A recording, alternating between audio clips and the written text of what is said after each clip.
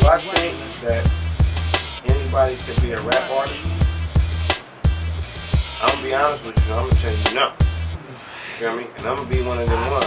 You know what I'm saying? I done heard so many other rap cats be like, yeah, man, if you really want to do it, you can really do it. You know what I mean? But that might not be your calling.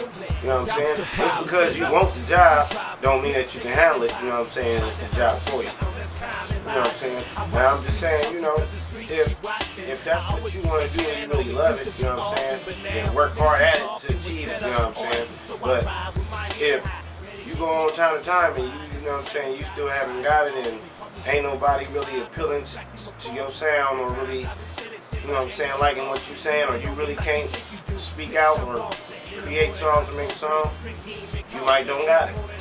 You might don't got it. You know what I'm saying?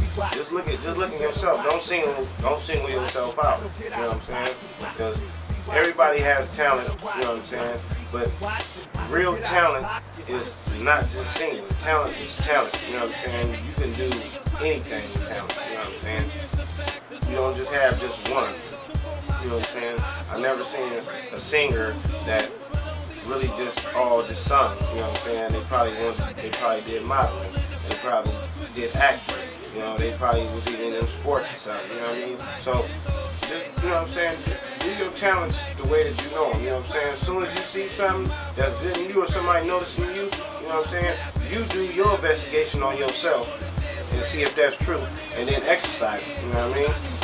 That's that's what I, that's what I can say on that. You know what I mean? No, I don't believe everybody can be a rap artist. The streets keep watching.